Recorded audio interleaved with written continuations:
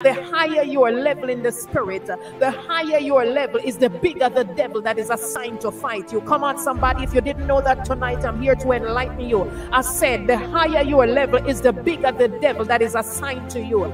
Peter was among the closest of the disciples to Jesus, he was part of Jesus's inner circle. So the enemy targeted Peter. The Bible says Jesus warned Peter that Satan wanted to sift him like wheat, Satan himself wanted to deal with Peter. Come on, somebody. The closer you are to God, the greater your warfare will be because the devil can't send a foot soldier to fight a general. Did you hear what I said tonight?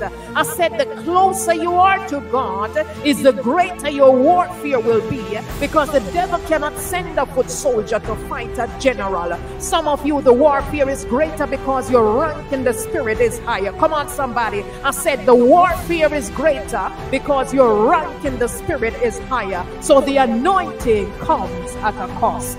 Oh, glory to God. It comes at a high cost, people of God. Do you know an anointed vessel who is going through some great warfare right now? Some of you are wondering why these people have so many problems. It is because there is something great upon their life.